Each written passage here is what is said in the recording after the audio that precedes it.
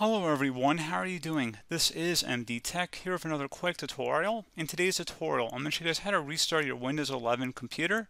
So this should be a pretty straightforward process, and without further ado, let's go ahead and jump right into it. So all you have to do is right click on the Windows Start button, select Shutdown or Sign Out, and then select Restart.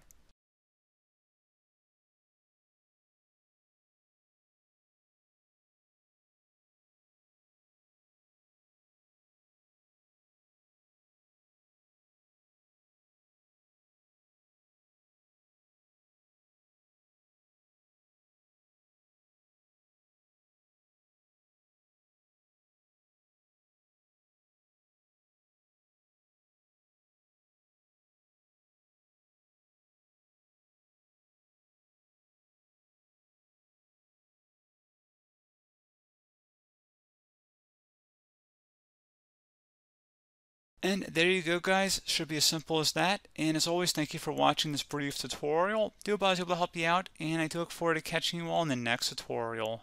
Goodbye.